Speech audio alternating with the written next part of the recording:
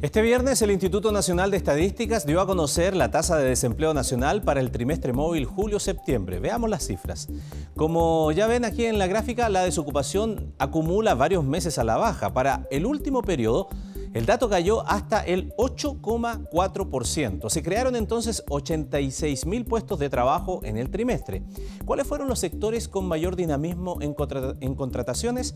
Alojamiento y servicios de comidas con un aumento de casi un 50%. Construcción con cerca del 46%. Y comercio que aumentó sus plazas laborales en 18,5%.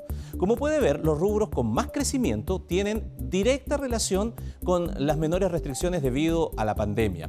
Para terminar, algunos datos que sí preocupan. La tasa de ocupación informal sigue creciendo y se ubicó en 27,7%. Eso significa que 2.307.500 personas trabajan en esa condición.